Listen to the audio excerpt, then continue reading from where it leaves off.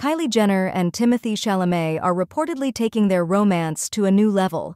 As fans will know, the youngest daughter of the Kardashian Jenner clan, Kylie Jenner is currently enamored with the Dune star Timothee Chalamet.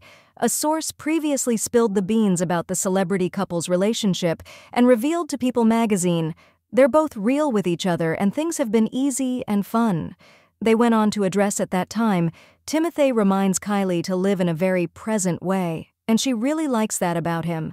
They both push each other to be better people, and that's a constant thing in their relationship.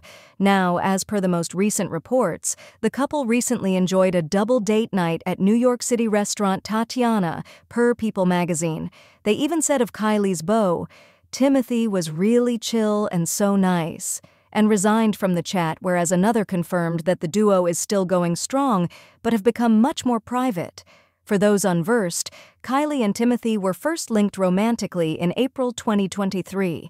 At the 2024 Golden Globes, the couple made their romance official as they made their entrance holding hands, sat next to each other, and even displayed affection publicly.